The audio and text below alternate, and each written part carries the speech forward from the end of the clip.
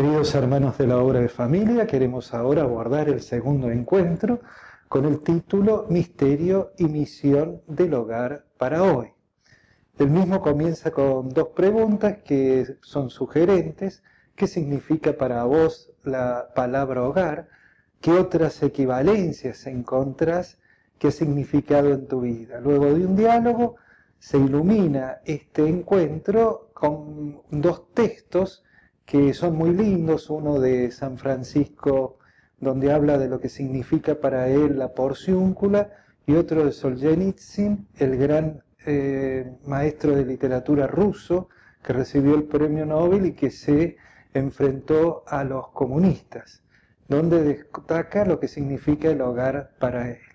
Luego de compartir eh, lo que han evocado en nosotros los textos que hemos recibido, nos vamos a meter en el segundo paso, que es ver qué dijo el padre Kentenich sobre el hogar. Él es interesante, distinguía tres aspectos de un, del hogar que sería bueno retener. El primero es la dimensión física del hogar. Toda familia para crecer necesita un lugar físico. Los muros protegen la intimidad y además le dan modelación interior a lo que vamos viviendo.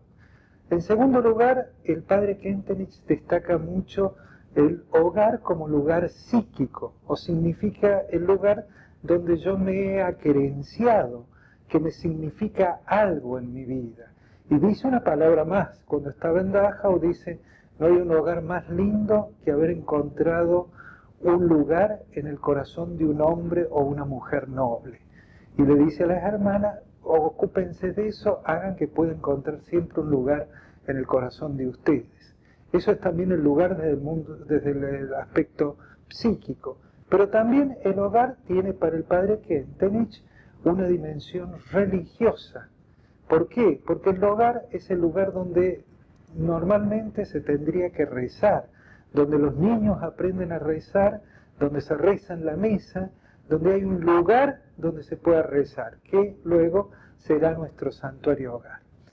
La gran tarea de este segundo encuentro es fundamental y es empezar a buscar el lugar donde queremos levantar nuestro santuario hogar.